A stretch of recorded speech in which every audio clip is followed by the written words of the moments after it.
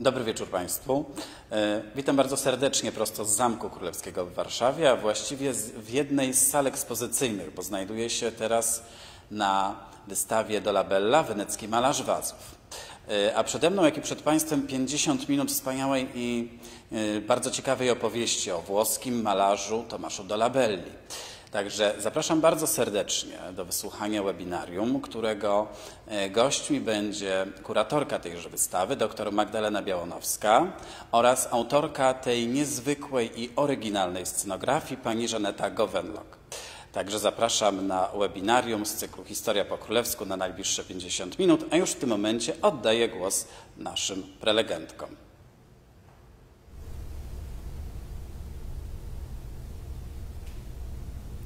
Dzień dobry Państwu. E, witamy na dzisiejszym spotkaniu, na którym e, opowiemy o przygotowaniach do wystawy do Labella Wenecki Malarz Wazów, e, którą otwieramy dla Państwa już za 4 dni.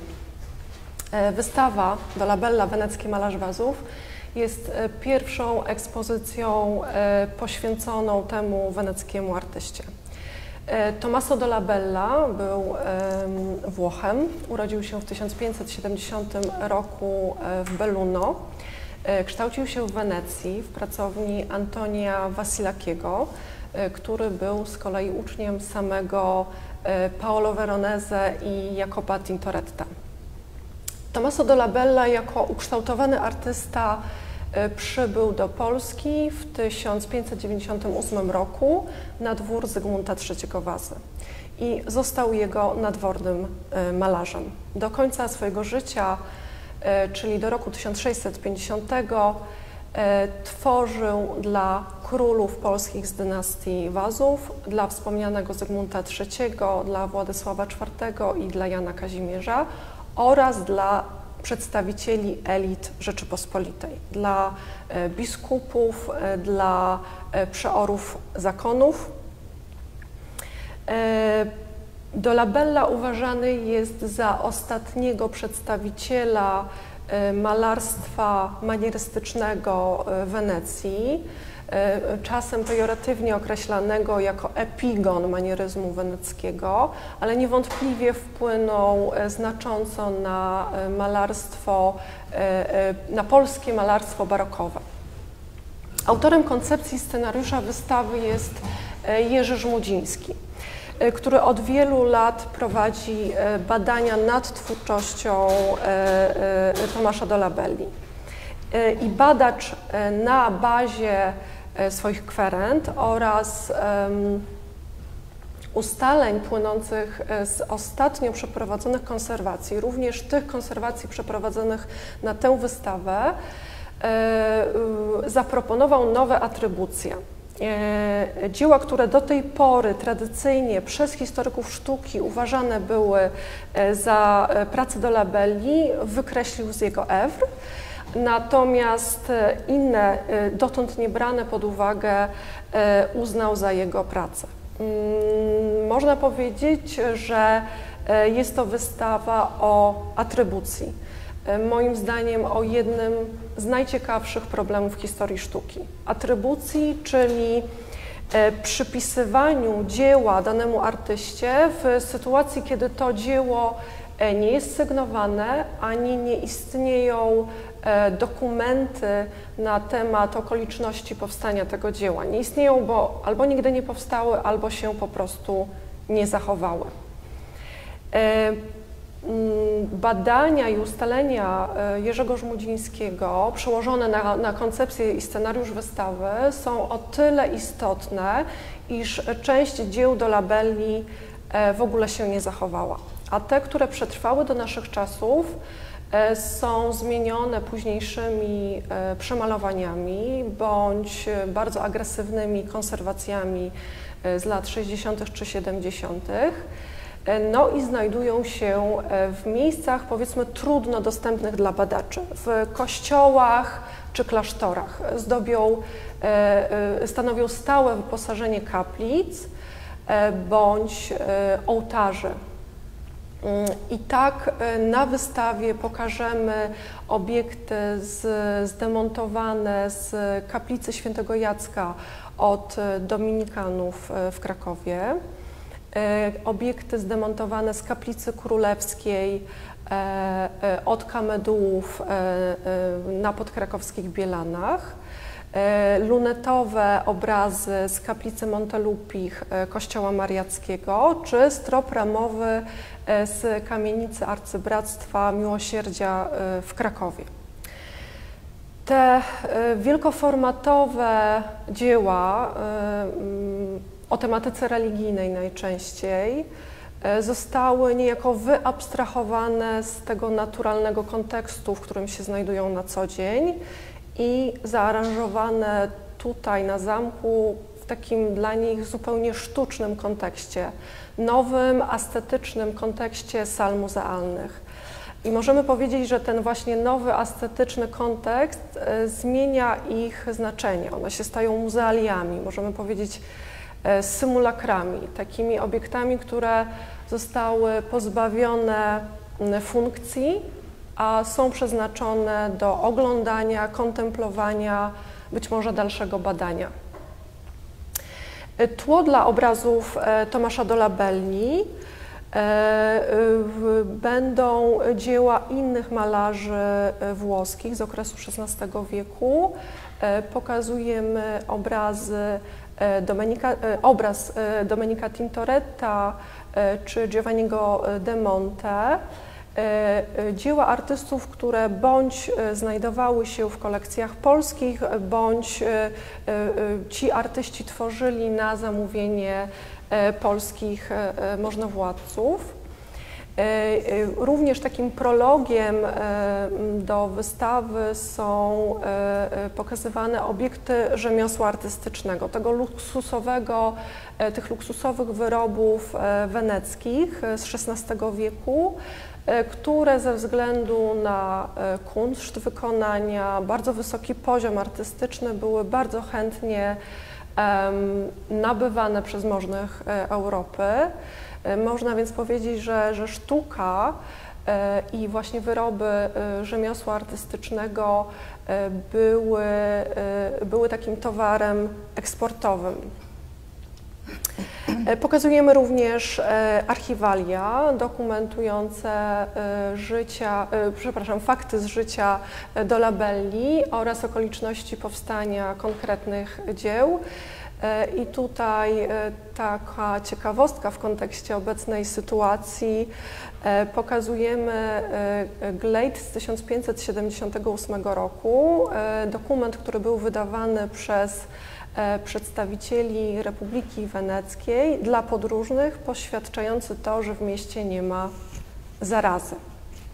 Reasumując, koncepcja przełożona na scenariusz składa się z dwóch zasadniczych części. W pierwszej części pokazujemy właśnie ten, próbujemy pokazać fenomen oddziaływania Serenissimy, tej najjaśniejszej Republiki Weneckiej na kulturę Europy, właśnie poprzez ukazanie Wenecji jako głównego celu podróżników XVI i XVII wieku, Wenecji jako centrum sztuki, rzemiosła artystycznego, a w drugiej części właśnie dzieła Tomasza Dolabelli, 22 obrazy. I teraz pytanie, Żaneto, do Ciebie.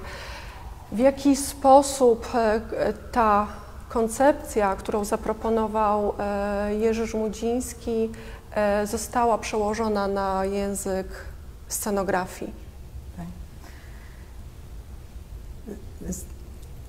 Elementy, jest wiele elementów, które warunkują charakter scenografii i wizji przestrzennej wystawy. I właśnie scenariusz jest tym podstawowym tematem, bo on zawiera temat wystawy, opisuje, gromadzi obiekty, które mają być pokazane.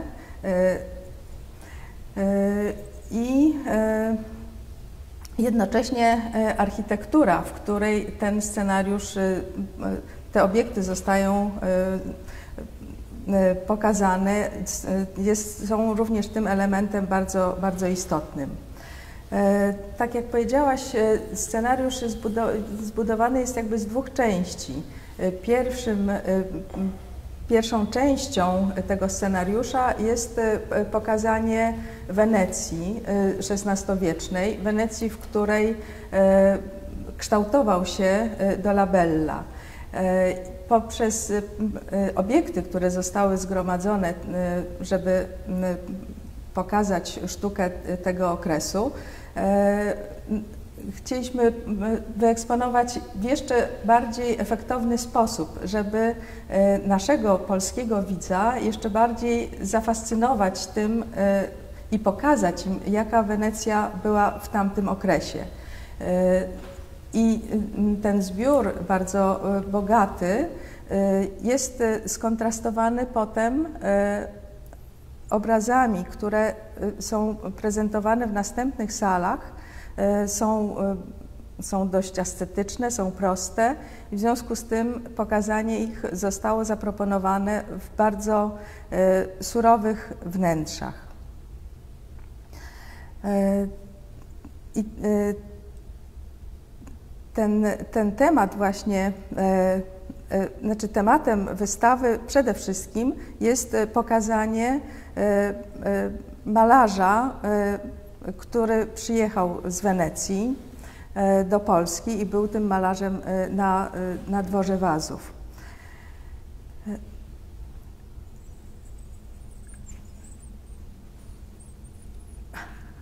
Może spróbujemy My teraz, teraz tak.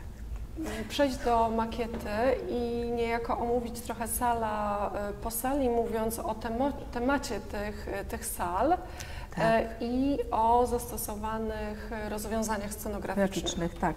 To, to spróbujmy tak, tak. zacząć. E, e, tutaj mamy przed sobą coś takiego jak, jak makieta wystawy, która, która pokazuje, pozwala w jakiś sposób odczuć proporcje samego wnętrza, w jakim prezentowane są obiekty, no i samych obiektów.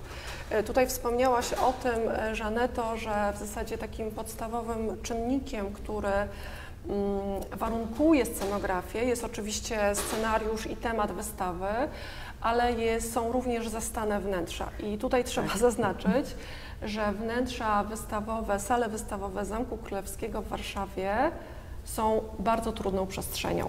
My nie mamy do czynienia z wielką kunsthalą, e, gdzie możemy e, swobodnie operować e, właśnie i wnosić, operować chociażby oświetleniem, czy wnosić obiekty dużych gabarytów.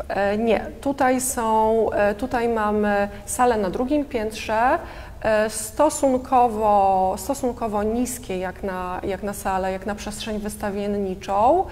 E, no i tutaj e, z tym musiałaś się zmagać Ty jako projektantka wystawy, ale również e, z tym musieli zmagać się konserwatorzy, o czym też powiemy mhm. później, o tych wyzwaniach, które stanęły przed nami. Tak.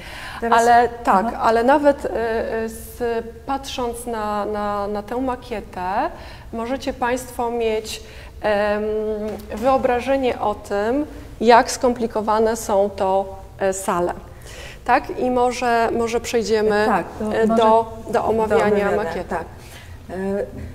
E, to jest pierwsza, pierwsza mhm. część, te, tak się szczęśliwie u, ułożyło, jakby podział scenariusza, E, można było rozdzielić e, tę część, która jest właśnie poświęcona Wenecji e, i zaprezentować ją we wnętrzach, które są no, oryginalnymi tutaj zamkowymi wnętrzami, ale są czyste, nie są za, zabudowane ekranami i można było tę część splendoru Wenecji pokazać w tych wnętrzach. Y, Natomiast dalsza część sal są to sale już dużo niższe, które w, no, w ramach pozyskiwania przestrzeni są wygradzane różnymi ekranami.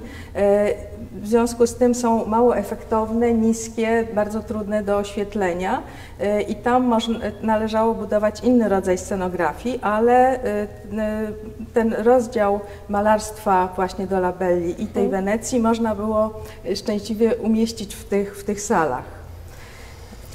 Tak, i właśnie w pierwszej, e, w pierwszej sali, e, w której prezentujemy no, zagadnienie właśnie Wenecji, e, która fascynuje podróżników, e, również rozpoczynamy opowieść o samym e, artyście, o Tomaszu Dolabelli. E, Tutaj zamieszczone będzie takie kalendarium, które ma być trochę takim narzędziem dla zwiedzających wy- wystawę. No i druga, przepraszam, druga część tego zagadnienia dotyczącego Wenecji e, to jest prezentacja e, malarstwa weneckiego i rzemiosła artystycznego. W zasadzie w tej sali się znajdujemy. E, No i właśnie, jaki, jakie rozwiązania scenograficzne tutaj zostały, mm, Żaneto, przez Ciebie zastosowane? Mhm. Y, Jednym z elementów y, są y, czerwone, czerwone ściany, które mają zwrócić uwagę, podkreślić wenecką czerwień, bogactwo weneckich tkanin, które są szalenie charakterystyczne dla tego okresu, a jednocześnie jest to dość silny element, na którym można dobrze wyeksponować obiekty. Te ściany są mm, zbudowane z z falistego materiału, znaczy sztucznego tworzywa, żeby właśnie y, nie używać tutaj natura, tkanin y, i y, bardzo klasycznych materiałów, tylko cały czas y, y, jest poszukiwanie współczesnego y, tworzywa, które y, y, odnosi się do y, na przykład do draperii, do, do jakiegoś materiału, ale jest jednak nadal y, y, rzeczą, jest tworzywem. Nowoczesną, Jest prawda? rzeczą nowoczesną, nowym, nowym elementem. Innym ele charakterystycznym tu, wprowadzonym elementem są, są powiększenia obrazu, który pokazuje Wenecję. Y, I powiększenie fragmentów y, tego obrazu pozwala nam y, na przeniesienie widza w, świat samej Wenecji. Takie działania powiększania jakiejś iluzji, wprowadzanie, odrealnianie tej przestrzeni. Tak, co wprowadza trochę taki e, oniryczny klimat w ogóle w, w, w, do, tej, do tej ekspozycji. Pozycji. E, tutaj jeszcze ważnym e, elementem jest ten kolor, który wprowadziłaś, czyli ta czerwień nawiązująca do Tak, czerwca polskiego, czyli wysuszonego owada, który był właśnie transportowany do Wenecji, z którego wykonywano barwniki malarskie i właśnie barwniki tkanin, prawda? Tak. Stąd tutaj to nawiązanie do tkaniny, do tego bo- bogatego weluru e, weneckiego e, no, jest uzasadnieniem dla e, zastosowania właśnie tego, e, tego koloru. Kolejna sala, bo chyba już możemy przejść. A tak. E, chyba, że chcesz jeszcze coś dodać właśnie a propos. tej części też y, kolejnym elementem, który, który prowadzi, y, będzie prowadził przez cały czas, y, przez wszystkie sale, przez całą wystawę, to jest światło, które jest elementem wydobywającym barwy, kolory, szkło weneckie, które zaczyna błyszczeć w, w tym świetle, a jednocześnie m, podświetlane fragmenty właśnie powiększeń, które dają też przestrzenność tej sali. Zresztą y, również ta czerwień zaczyna m, bardzo intensywnie działać w tym świetle. Jest to znaczący element. E, właśnie i kolejne pomieszczenie, dosyć trudne scenograficznie, bardzo i, i, wystawienniczo. E, To jest właśnie ta niewielka, e, niewielka salka, gdzie rozpoczynamy już e, tę właściwą opowieść o Tomaszu Dolabelli. E, To jest ten moment przybycia Tomasza Dolabelli do Polski oraz jego pierwsze prace i tutaj prezentujemy takie zupełnie wyjątkowe lunetowe obrazy, które zostały zdemontowane z kaplicy Montelupich Kościoła Mariackiego, które w zasadzie no, ostatnio zostały przez Jerzego Żmudzińskiego przypisane właśnie Tomaszowi Dolabelli. Tutaj też jest taka krótka opowieść o jego, o, o nauczycielu, o Wasilakim. No i właśnie, przechodzimy do kolejnej sali. Właśnie, to co, co tak, tutaj się dzieje? Bo, tu... bo, to jest, tak jak wspomniałam, trudna sala tak, ekspozycyjnie. Tak, bardzo trudna. Tutaj już właściwie zaczyna się jakby poszukiwanie formy ścian czy podpór, na których te wielkie obrazy wyjęte z architektury są prezentowane, bo to, to jest wyzwanie, które potem prowadzi przez, przez kolejne sale, ponieważ tak jak wspomniałaś, te obrazy zostały wyjęte z architektury. Tam miały swoją bogatą oprawę. Tak. E, mhm. Miały e, złote ramy, czasami ogromne złote ramy. E, w innych miejscach tymi ramami były elementy architektoniczne, one w tych miejscach były szalenie efektowne. E, wprawdzie ta e, kaplica Montelupich jest e, dosyć prostą formą, więc tutaj jakby tak. to mhm. odniesienie do tych ścian, na których one zostały powieszone, są, są prostą bryłą, prostą formą, ale jak oglądamy te obrazy, jesteśmy zaskoczeni formą obrazów, ponieważ one są, są lunetowe, są wyjęte z architektury były, są kompletnie nieregularne. Więc e, tak, ta forma, tak, forma ta forma jest, jest zaskakująca. Bardzo prawda? zaskakująca. E, a poza tym tutaj możemy, tak jak potem kolejne obrazy, one są tak powieszone, jest to tak cały czas idea przewodnia, żeby można było wreszcie zobaczyć je z bliska więc wiszą y, nisko, y, czy bardzo nisko w stosunku do, do, do tego, jak, jak wiszą, jak na co dzień, jak tak, na co tak, dzień wiszą, funkcjonują. Tak. tak. I też y, tutaj to, co podkreślamy, że są to obiekty zdemontowane z kaplic, klasztorów, kościołów. Jeden z obiektów z zwieńczenia ołtarza czyli na co dzień znajdujący się na wysokości około 20 metrów, E, naszym celem e, w, właśnie w tej części wystawy e, nie było absolutnie, może w ten sposób, naśladowanie tej architektury, tylko taki zupełnie, zupełnie nowoczesny, nadanie tym obiektom takiego zupełnie nowoczesnego kontekstu. Właśnie, i przechodząc do, do, kolejnej, do kolejnej sali. Do kolejnej sali. sali E, a jeszcze może powiemy, że makieta e, jest dlatego makietą, a nie wizualizacją komputerową, e, ponieważ w tej, w tej makieta pozwala na precyzyjne określenie proporcji. Jest naprawdę można jej wierzyć, natomiast wizualizacje nie dają takiej, takiej możliwości, a poza tym w trakcie pracy właśnie z, z kuratorem bardzo pozwala to na wspólne E, dopracowywanie pewnych e, ustawień, rozmieszczeń, dyskusje. E, jest to może archaiczny, wydawałoby się środek, ale bardzo ale w dalszym bardzo, ciągu tak, wracający i tak, wracający tak. znowu mhm. dzisiaj. Tak. tak.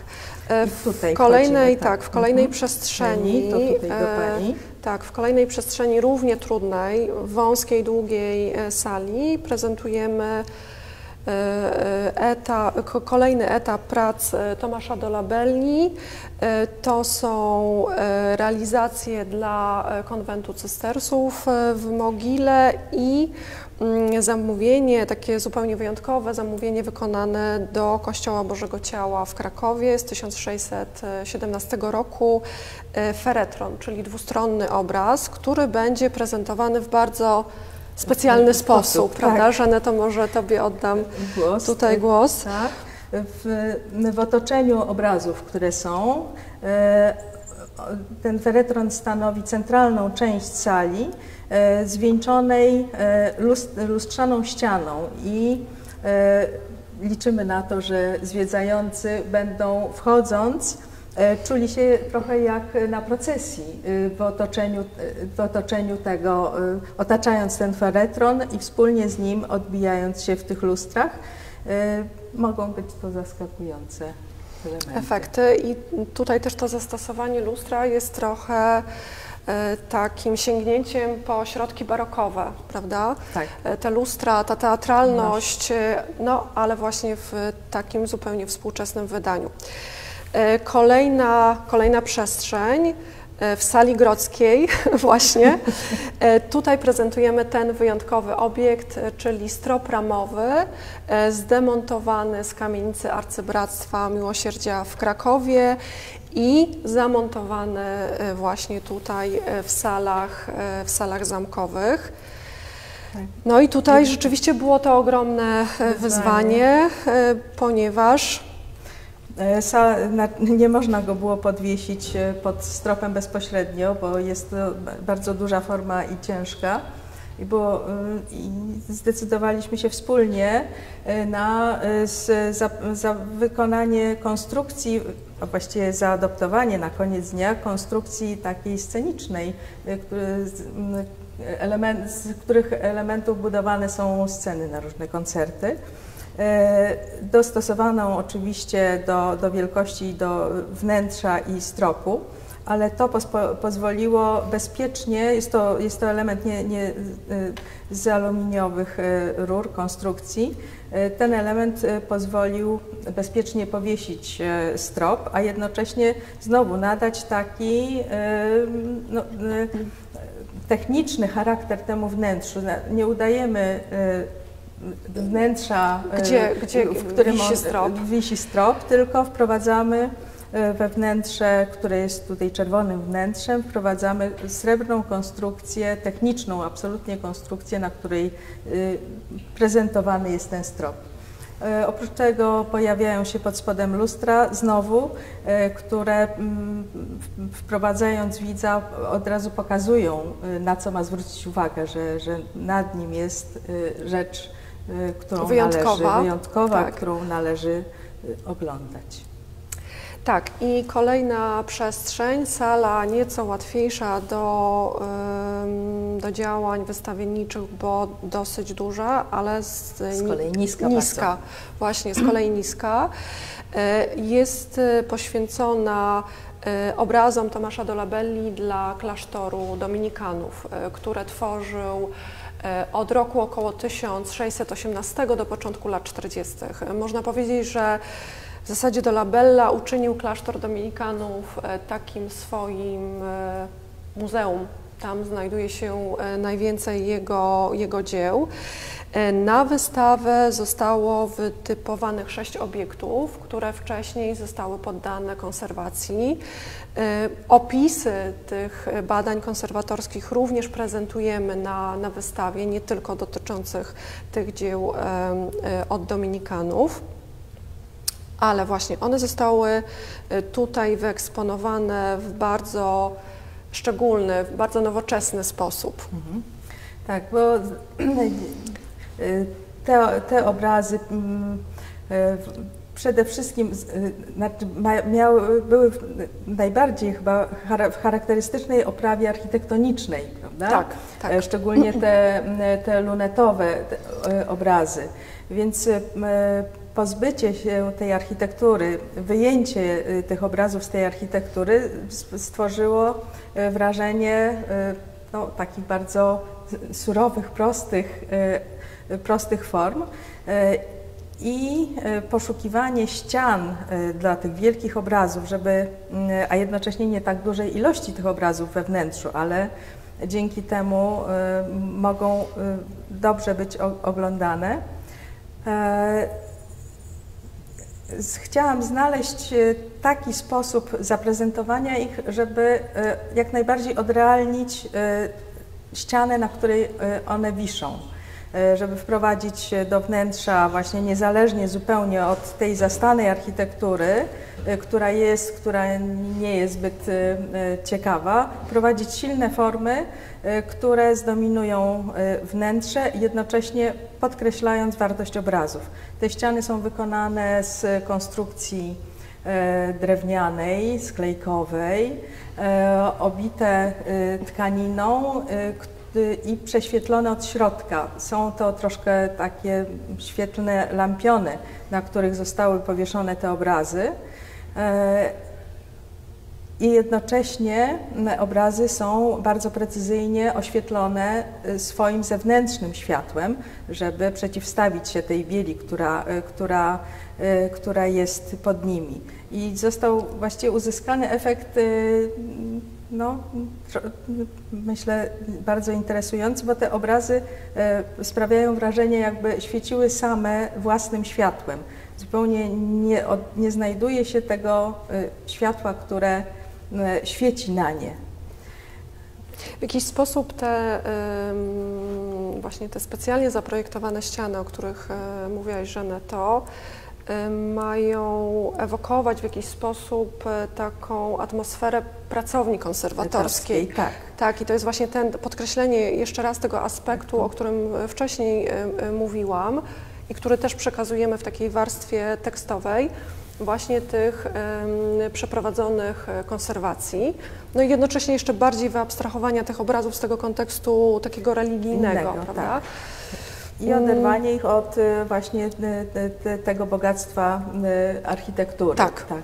I tu jest jeszcze wykorzystanie również tych podświetlonych ścian, ponieważ jeden z obrazów y, jeszcze jest y, jakby jego prace konserwatorskie, prawda, są udokumentowane kliszą Rentgenowską, tak, która tutaj jest, jest pokazana razem z, pod, poniżej tego obrazu. Tak, bo tutaj właśnie w przypadku e, tych konserwacji obrazów e, od Dominikanów, no e, rzeczywiście e, wyniknęło wiele takich nowinek, które, które prezentujemy. E, I kolej, kolejna, przedostatnia e, przestrzeń, e, również duża sala, ale właśnie niezbyt, niezbyt wysoka. E, Są, jest, to, e, jest to przestrzeń, gdzie prezentujemy obiekty z lat 20. i 30. XVII wieku E, i tutaj właśnie znajdują, prezentujemy mm, obrazy z klasztoru Kamedułów na Bielanach e, e, krakowskich, e, zdemontowane z kaplicy e, e, królewskiej. E, No i e, bardzo wyjątkowy, taki bardzo mocny w przekazie obraz, em, zdjęcie z krzyża, e, który na co dzień znajduje się w zwieńczeniu e, ołtarza, e, ołtarza znajdującego się w kościele gotyckim, więc no, znajduje się on mniej więcej na wysokości jakichś 20 metrów. Mm, Tutaj, Żaneto, zaproponowałaś również nowoczesne rozwiązania, ale jednak trochę inne niż w tej poprzedniej sali. Tak. E, Tutaj są właściwie dwa rozwiązania. E, e, W poprzedniej sali te obrazy były z jednego, z jednego kościoła, z jednego, prawda? E, One tworzyły, tworzyły całość. Sala też była zaprojektowana w ten sposób, żeby tworzyła jed- jedną wyrazową, w wyrazie całość. Tam są rozdzielone ten ołtarz, ten obraz ołtarzowy, zdjęcie z krzyża, który e, jest tutaj najsilniejszym elementem e, w, mm, e, w, tej, w tej sali, został ustawiony jakby na tle apsydy, żeby, żeby zasugerować jego, jego miejsce. Jest to tylko sugestia tej, tej formy, złoconej formy. Obok są cztery obrazy, które są e, z, e, z kościoła e, Kamedułów Na Bielanach, o- na tak. Bielanach. One znowu są w wbudowane w architekturę, zdemontowane. Tutaj są, wiszą jakby w- jednej grupie. Przez to te ściany, ściany właściwie takie skrzynie transportowe, troszkę na, te, było takie nawiązanie do tej formy. E, Przyjmują te obrazy, mają e, złocone fragmenty, które znów odnoszą się do złoceń kościelnych, ale to wszystko jest tylko sugestią e, i zbliżeniem się w tamtą stronę, bo z drugiej strony elementem, który jest e, e, bardzo taki techniczny i nowoczesny, to jest sposób powieszenia tych obrazów w tych, w tych ramach. One zostały zawieszone na takich właściwie stalowych krzyżakach, żeby, żeby można było je lepiej zaprezentować. E, też ogromną trudno, trudnością było oświetlenie tych obrazów, bo sale, obrazy są wielkie, sale są bardzo niskie. Większość tych obrazów, no chociażby właśnie to zdjęcie z krzyża, ten obraz właściwie wypełnia pełną wysokość sali. Są dosłownie tak. centymetry pomiędzy ramą a podłogą i sufitem, co zdarza się dość rzadko. Też robi to wrażenie ogromne, jeżeli staje się przed takim obrazem, e, a e, z kolei światło jest bardzo e, trudno w tym momencie znaleźć dla niego miejsce, żeby dobrze obraz oświetlić. Ale wydaje się, że udało się to pokonać. Tak. I bo w dosłowny sposób te dzieła do labelli zyskują nowe, nowe światło. E, Żaneto, zaczęłaś mówić w zasadzie, w zasadzie o wyzwaniach, jakie, jakie tak. mieliśmy mhm. przed sobą, mówiąc o, o oświetleniu, mhm. Bo rzeczywiście tych wyzwań stojących przed nami, e, organizatorami tej wystawy było dosyć sporo. To po pierwsze były wspomniane, wspomniane, przez ciebie, wspomniane przez Ciebie oświetlenie, tak. ale zanim te obiekty znalazły się w tych salach i można je było oświetlać, trzeba je było E, wykonserwować, zdemontować e, i przetransportować do zamku, do tych, tak jak mówiłam, trudnych ekspozycyjnie sal. I może teraz trochę o tych, o tych wyzwaniach. E, po pierwsze, wiele obiektów zostało poddanych wcześniej konserwacji, mniej więcej połowa. E, z tych 22.